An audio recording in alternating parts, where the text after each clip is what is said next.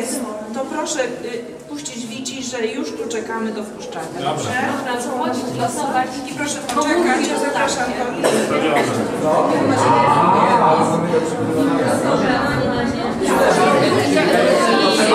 Czy są przygotowani do madury? Są przygotowani. Są przygotowani, a poza tym y, jest to taka grupa młodzieży, która myśli, także myślę, że sobie naprawdę dadzą radę. Wyciągają wnioski, rozumieją to, Widzę ciemność, nie mam żadnych przewidywań, naprawdę nie powiem nic, nic ciekawego, bo nigdy, nigdy na ten temat nie mam żadnych przecieków, ani, ani żadnych rokowań.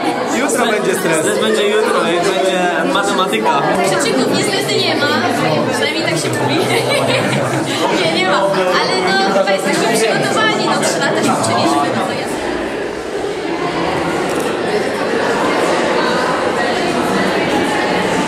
Piszemy 170 dni. Czy wszyscy Państwo są przygotowani, wyrażają wolę przystąpienia do egzaminu maturalnego? Nie. Jak zamykamy. Dziewiąta minęła. Jak czują się rodzice? Bo jak, widzieli, jak maturzyści widzieliśmy, jak czują się rodzice? Chyba gorzej niż maturzyści. Już grzebiemy w internecie, żeby Co, już tam są ściągi jakieś? Są ściągi, tak. Już są, Jest tak? takie, jakie tematy, tak. Jest co tam? wesele, z tego co zdążyłam przeczytać.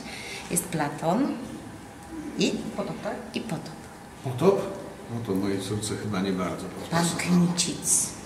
Dla mnie byłoby świetne, natomiast córce chyba nie bardzo. Potop to akurat niespecjalnie. Wczoraj streszczałem, ale zdążyłem tylko pierwszy tom.